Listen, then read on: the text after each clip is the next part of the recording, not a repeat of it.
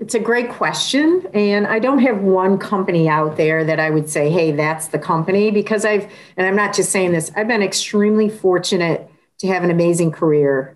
Currently, where I'm at, uh, the last seven years with Breakthru Beverage and leading so many exciting developments, integration, strategy, and growing our business. 22 years of major cross functional roles, uh, executive roles, sales, marketing, general management, uh, running countries, running global tequila at Diageo. And my journey started in the beverage industry with Gallo, a tremendous foundation, and what a great place to start. So, to be honest, I've worked for great companies already if I were to really say what is the one company, it might be Maggie's Donna Margaritas Tequila and really starting my own business, my own company. And um, who knows, when I'm retired on a beach someday and decide to do that, you know, you may see uh, that margarita out there or that tequila someday. So if anyone wants to join me, please do.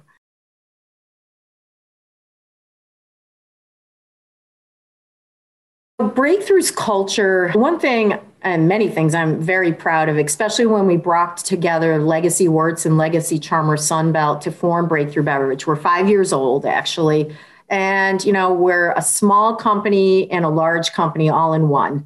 And I think that's a special place to be. So, you know, we're a very scalable organization, uh, $6 billion organization, but we operate in a very agile, kind of inclusive environment that allows um, our talent to grow and develop because they have accessibility to executives. Uh, and it helps give the proper exposure in a very positive collaborative environment that allows for that talent to really you know be the best in the industry in my opinion. So um, you know i think we have a a fun culture. We move with pace. There's not a lot of red tape and i can't ask for anything more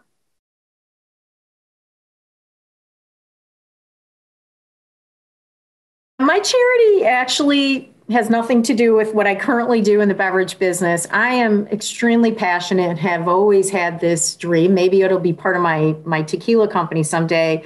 But you know, I think dogs are an amazing thing, and, and I just actually got a 12 week old yellow lab. She's uh, she's at daycare right now.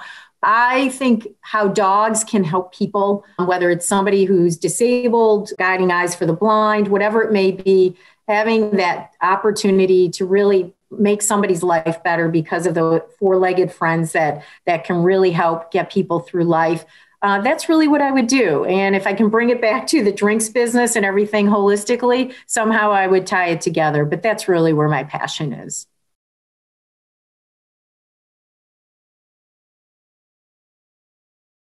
It's a pretty easy answer for me I mentioned the companies I've worked for. I actually started out of school working for a CPG company, Playtex Family Products. So, four organizations over my career. I can honestly say, in less than one hand, I have uh, a mentor, maybe uh, two in, in one of those companies, but less than five mentors across my career uh, based on each of those organizations. And that's a true mentor mentee relationship. You know, you have to kind of find each other. It's not just a handpick, this person's going to help guide you. And each one of those individuals is still in my life somehow. I keep in touch. We keep in touch with each other.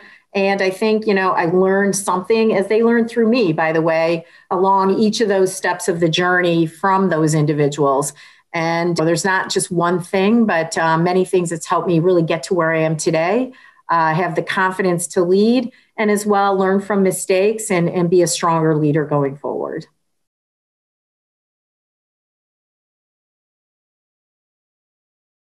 The best leadership advice I've been given, you know, it's interesting. I, I, I guess I grew up in a, in a little bit of a different era. It's kind of weird to say that. Um, but authenticity, which is really a hot topic right now, uh, certainly was as I was developing in my career and, and especially the early stages. And, you know, but there was somebody who really, one of those mentors I referenced earlier, who said, you know, listen, authenticity is key, but authenticity with skill. Uh, you do have to respect the professional environment you work in, and certainly the understanding of the environment around you, the other people, and as well um, how to be yourself but do so with skill. So that was something that really, as I grew and developed over time, became more and more uh, clear to me. It really did start to resonate as to how I would coach others on that same type of thing. I think the other thing is I, I often heard from another one of my uh, true mentors was, you know, only you can make yourself happy. And I think as a younger developing associate through my career, I didn't certainly understand what that meant. You know, I always thought a people manager should tell me what to do and how I should progress forward. But really, it is about navigating your career, understanding what your balance is with career and life and personal and everything else. And as well, you know, what truly makes you happy, what truly drives your inspiration and satisfaction in what you do. And I think, you know, with that, that did really start to resonate with me as well, that advice as I got older. And it became more and more clear to me, you know, this is the path I want to take, not this path, or this is how I want to kind of holistically balance career and life. And, um, you know, I think that was great advice for me.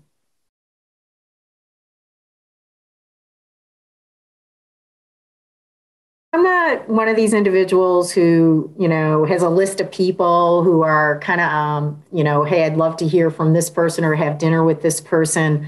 I actually, you know, based on some of my um, aspirations earlier about someday when I'm retired running my own tequila company, I'd love to hear from others who've taken some risk, who who said, you know what, uh, I'm going to pivot and do something different. And you know, here's how I went about it. Uh, here's the risk that that was involved. Here are the ups and downs.